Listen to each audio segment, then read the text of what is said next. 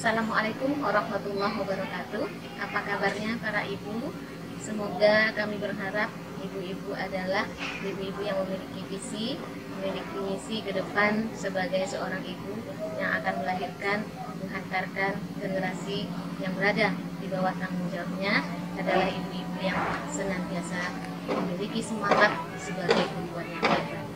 Ibu-ibu semua sesungguhnya tugas keibuan kita tidaklah rumit. Sesungguhnya tugas keibuan tidaklah sulit, tapi sesungguhnya tugas seorang ibu adalah bagaimana ibu menjemput hatinya dan menghantarkannya kepada anak-anaknya. Karena setiap anak butuh sentuhan ibu yang tidak akan dia dapatkan dari bapak. Mari ibu kita senantiasa belajar memperbaiki diri, memotivasi diri. Sesungguhnya apa yang sudah Allah berikan kepada kita adalah anugerah yang sangat besar, yang sangat luar biasa.